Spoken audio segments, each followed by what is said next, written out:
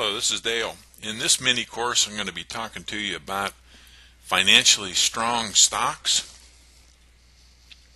I have my MBA and worked for DuPont in mergers and acquisitions for a while and learned the the power of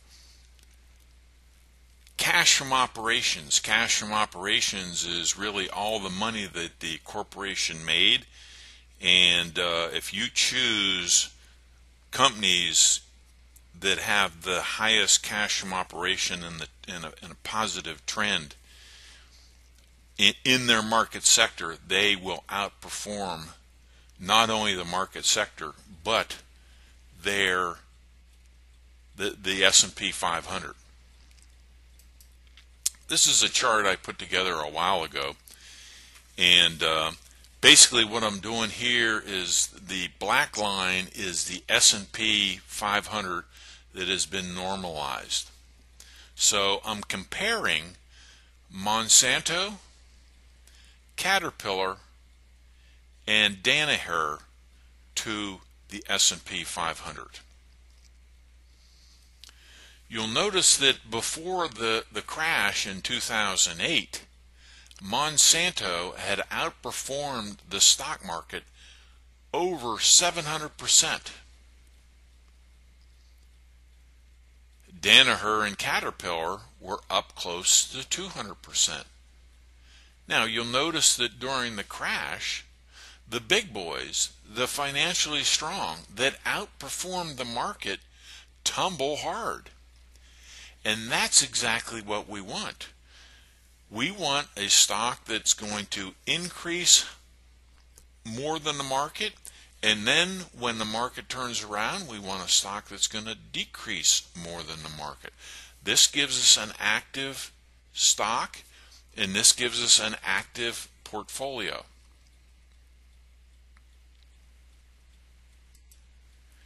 Now, what I'm looking for is the cash from operations. The cash from operations can be found on the statement of cash flow, and it starts where other people stop, and it starts with net income. You hear the Wall Street Journal and you hear just about everybody, the talking heads on CNBC, talking about earnings per share. What's going to be the latest earnings report? But the business people understand that it's not earnings that really what the company needs is positive net cash from operating activities, which takes the net income, makes any changes for depreciation, changes in working capital, and then comes down to the cash from operating activities. What I'm looking for is at least a positive trend in the last five years. Let's take a look at Abbott Labs. This is an extreme positive trend, and this is the kind of stock that I'm looking for. This is a financially strong corporation.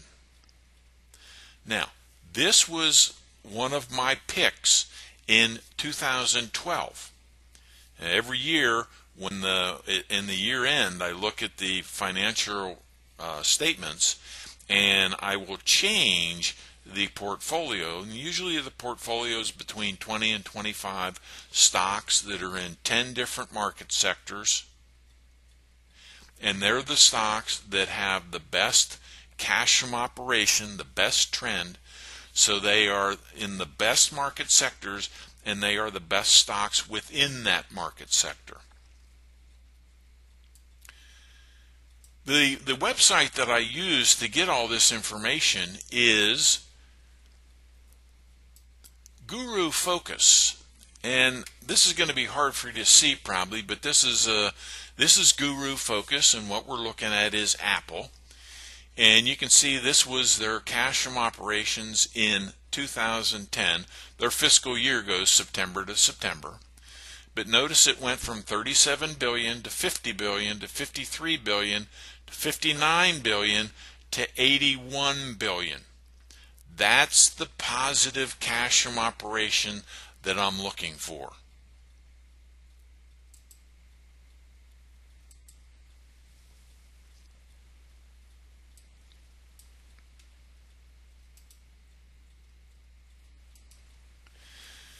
Now, this is the uh, financially strong stocks. It's a list of the stocks for 2014. And every year I do this, I redo this and the the members, the pro members of Options Infinity will get that list. I do all the work for you. I go I pick the the strongest market sectors. I go through Guru Focus and pick the ones with the, the, the best cash from operations, and I come up with my list. It's usually between 20 and 25 stocks. This is what it was for 2014.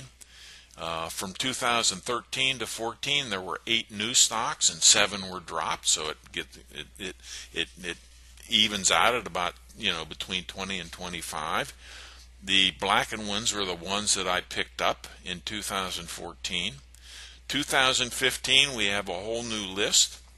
As a pro member, you will have access to that list. And as we approach 2016, usually about March of the year, I will update that list, put it on the website, and you will be privy to it. These are the stocks that I follow. These are the stocks where I trade options, calls, and puts throughout the year.